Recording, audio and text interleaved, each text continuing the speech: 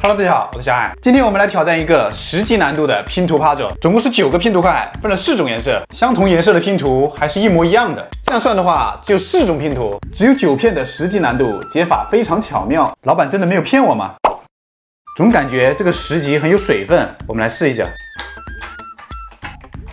最后一块拼图放上去，发现多了一个尖尖，少了一个凹槽，而这里刚好多了一个凹槽没用上，我们来移动一下，凹槽对凸起回，嗯，我这边又多出来一点点，它不能放到边上，它要放到中间位置，边上应该是一个这种块，把它包进去。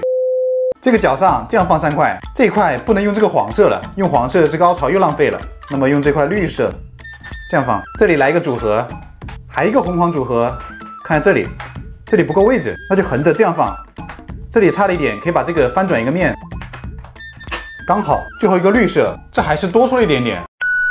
我们来分析一下，首先四个凸起对四个凹槽肯定是没错的，这个组合也只能放这个位置，它不能往上走。这上面顶住的话，下面就放不下任何一个块。同样的，也不能贴靠左边，左边顶住的话，右边也放不下任何块。所以这个位置是确定的。剩下的位置再来放这两个组合，同样的道理，这块不能贴边，所以这块只能放这里。剩下这个组合可以这样放，脚上这块不够，还可以这样放，而这个脚这里依然不够。最后还可以这样放，然后不管怎么放，这个角落始终还是差了这么一点点，所以这种摆法是无解的。既然如此，那么有没有可能是这样斜着放的？所有的块都这样斜，位置肯定是不够的，所以最大的可能还是只有中间这块是斜的。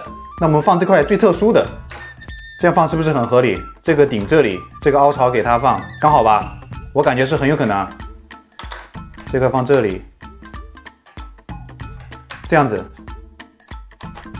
这里还是不够啊，这两块换一下看一下，这块放这里，哎，不行，这样子可以吧？然后这块搞定，设计非常的巧妙。刚上手看到四个凸起，四高潮，正常人都会像我开始那样去拼的。但是我们并不难发现，那个方法是绝对拼不出来的。所以最后想到这种斜放的拼法，应该不是很难吧？因此我觉得它应该没有十级。那么今天视频就到这里，拜了个拜。